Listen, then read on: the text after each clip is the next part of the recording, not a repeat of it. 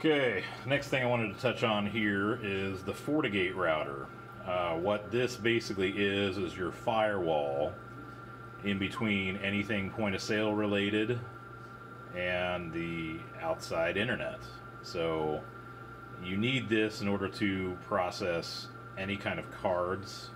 They will go through this device.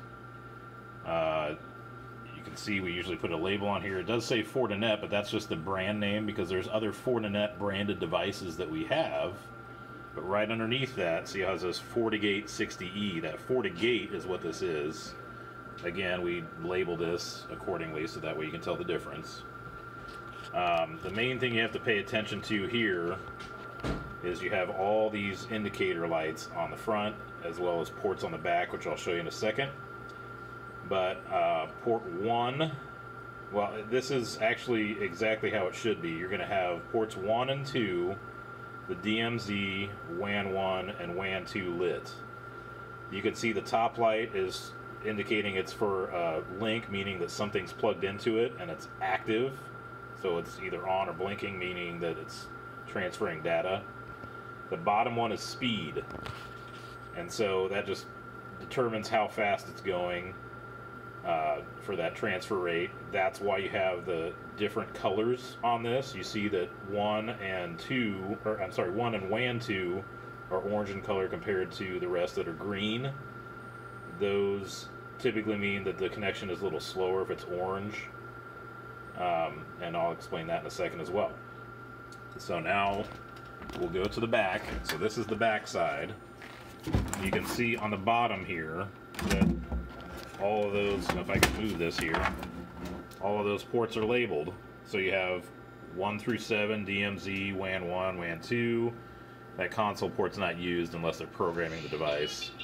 So uh, anyway, that corresponds with the lights on the front.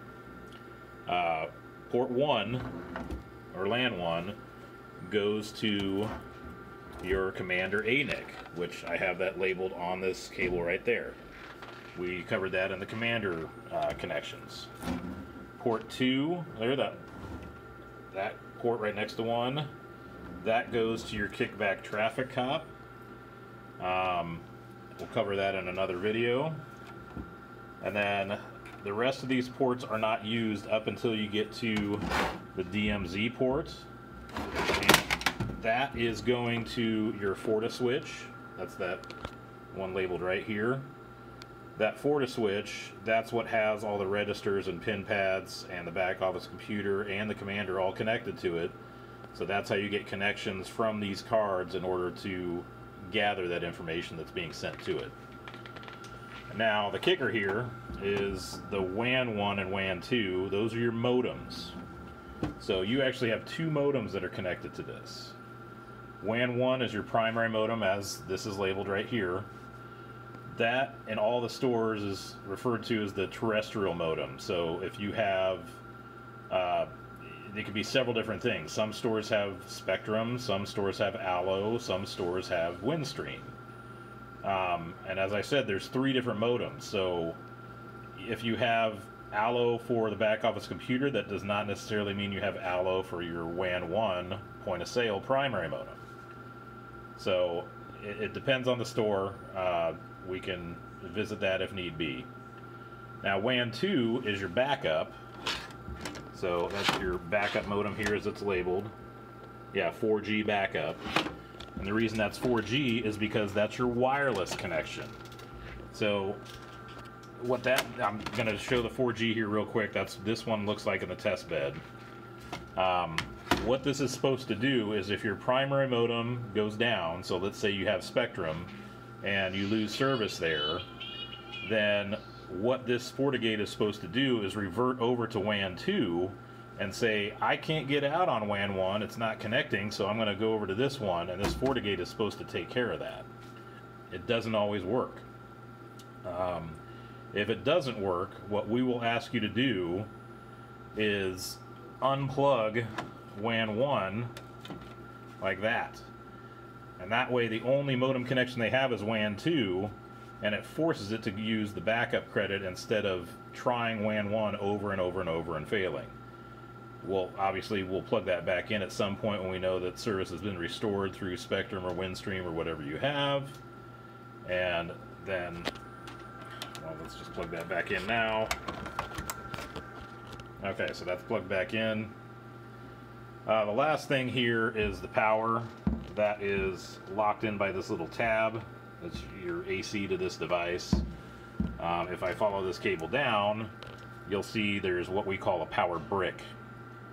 Um, just because this is difficult to unplug and replug, I think this is the best method for uh, power cycling the device if you need to. Anytime you see a brick like this is usually the easiest way. So what I will do, if I can get this focused here, is this is just a simple plug. You just unplug it like that. You can see it's got the three prongs. So I just plug that back together. And now you'll see that you'll start getting activity lights on this again once it gets power. Actually, we'll go over to the front. So you can see I got power. Well, that's, yeah, that indicates power right there. So as long as that light comes back on when you plug it back in, you know it should uh, go through and do its thing. Anytime you power cycle this, it takes about two to three minutes to come back up. You'll see activity lights on these that are occupied. Like I said, okay, here we go. So you'll see that I got WAN 1, or yeah, WAN 1, WAN 2, DMZ, port 1 and port 2 because they're all being used. But it's only been 30 seconds at this point. So you still want to wait because even though this looks like it's fine, it's still got to go through and cycle through its firmware that it's got loaded on this. So even though it appears it's ready to go, you still got to give it, oh, there we go. There's an indicator right there that it's not done and it's still loading. So like I said, about two to three minutes after you reboot a FortiGate is when it'll start becoming active again. Uh, and this is controlled by SageNet at all stores. That's who we get the FortiGates from. Um, that is mandated by Phillips. You have to get either SageNet or Hughes. We elect to go to SageNet for all stores. So that is who manage or who we get this device from and who manages it. And that is the FortiGate.